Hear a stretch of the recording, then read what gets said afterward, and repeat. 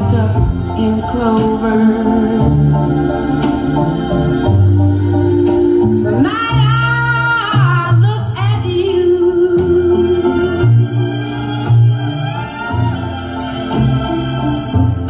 I found a dream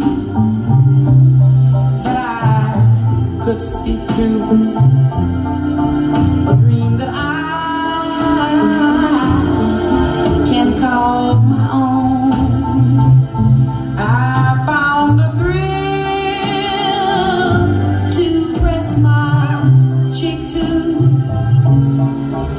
of real life.